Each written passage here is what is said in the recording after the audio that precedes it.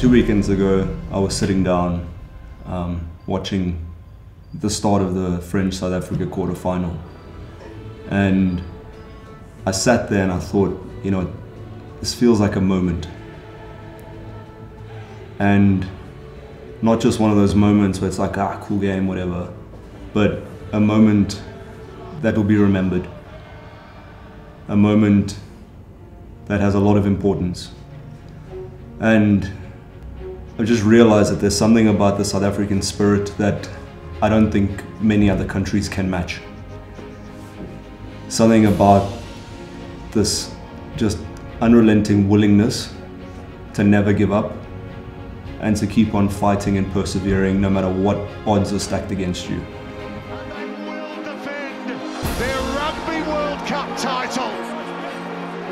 I got to thinking about rugby in South Africa and what rugby in South Africa represents.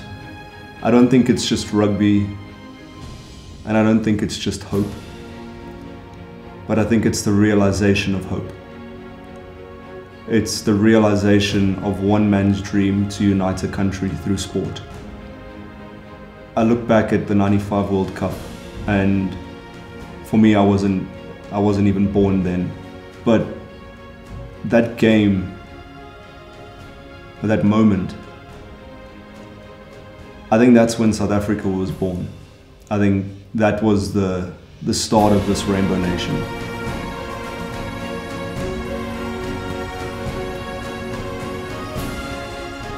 Thirty years later, give or take,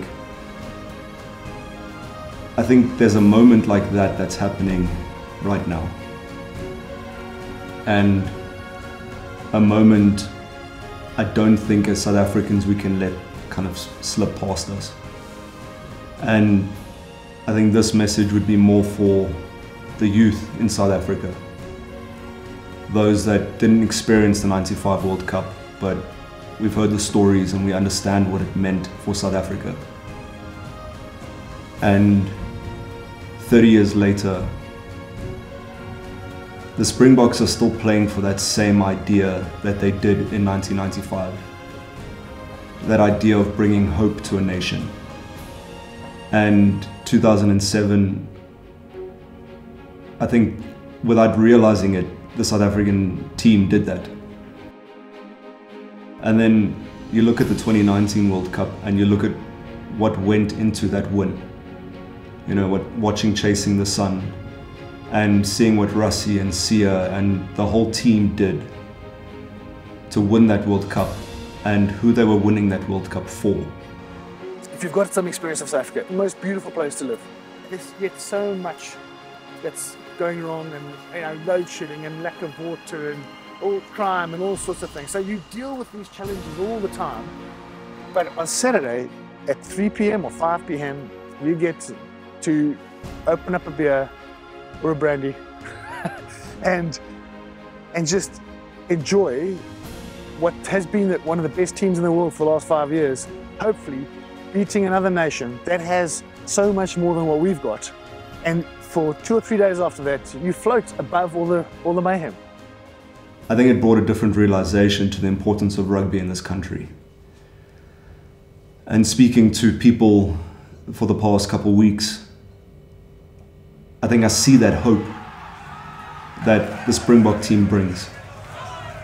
That those comments of, yeah, see, the, the Boks need to win this weekend. You know, it's it'll it'll do so much for the country, and as amazing as that is, there's something concerning about it as well,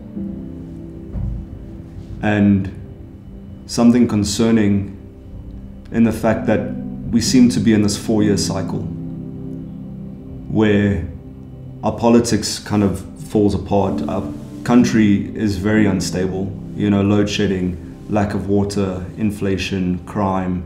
It's, I mean, I think every South African knows the drill. But every four years, we send the Springboks on this quest to bring hope to the country.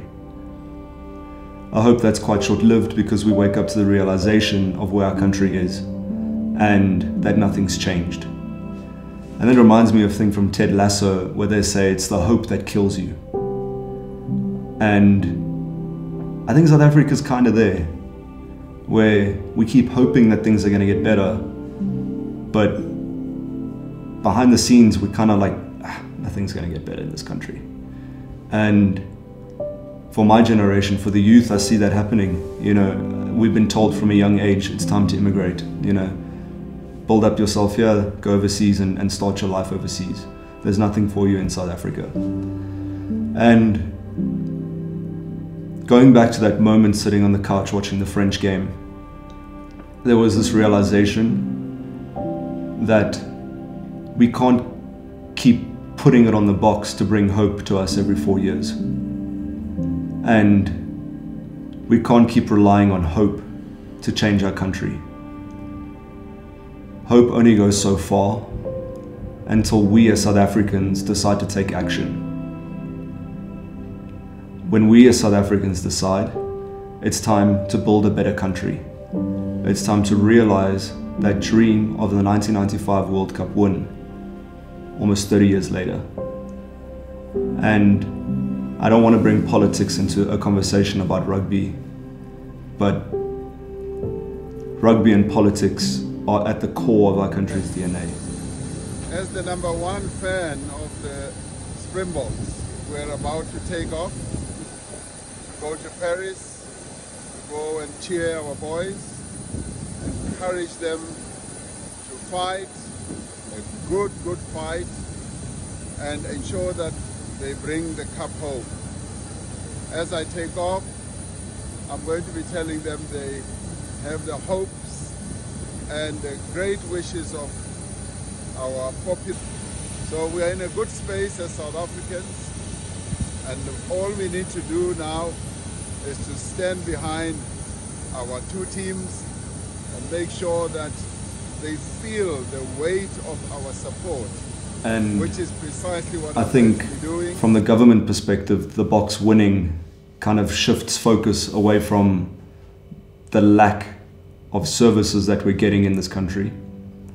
It takes the pressure off them a little bit. I mean, I don't even remember when last we had load shedding. Like, maybe that's just in this area, but it kind of feels like there's this forgetting of what's happening in this country and our focus is just on the Boks, which I completely understand because I'm in the same boat. But I think what's important for all of us to remember and to keep in mind is we cannot keep asking the Boks every four years to go and play for hope for a better country and showing what it means to be South African every time they step onto that field. Just take the France and the England game. I don't think many other countries could win battles like that. And still, at the end of the day, walk and greet every single fan in the crowd. There's something special and unique about what our team does. And as a South African, as a young South African, I think it's time for us to start taking responsibility for our country. And not in the sense of going and rioting on the streets or blaming our government for everything. I think our government had an important role to play. But I think that role is moving. And I think, like I said, that moment is for us to realize the goals that Mandela put down and what was sealed in that 1995 victory. You know, those words of Francois Pienaar just echo. David, we didn't have 60,000 South Africans. We had 43 million South Africans. And that's something I don't think a Springbok captain has forgotten. I think as South Africans now, in this moment, it's time for us to make a decision. And it's a decision for the youth, for those that weren't there at the 95 World Cup, but for those who understand what that win meant for this country. I think it's pretty cool that 28 years later, for the first time since the 95 World Cup, we're facing the All Blacks in a final. And for me, it really just solidifies that this is a moment. You know, It's it's looking back 30 years and saying where have we come as a country? Where are we? And what do we as the youth now need to do to move our country in the right direction? And like I said again, I'm sorry for bringing politics on a day like this. But I think it's important. And I think we owe it to the Boks to say you are not alone and we stand with you. Win or lose, we are committed to building the country that they go out and play for every Saturday. Good luck, Boks, this weekend. We're rooting for you. And to the South Africans that watch this, if you do watch this, I think it's time we stand up. We stand together because we are stronger together. And it's time to make a difference for our country and for our futures. And South Africa deserves more than conflict, load shedding, a terrible economy. We deserve more.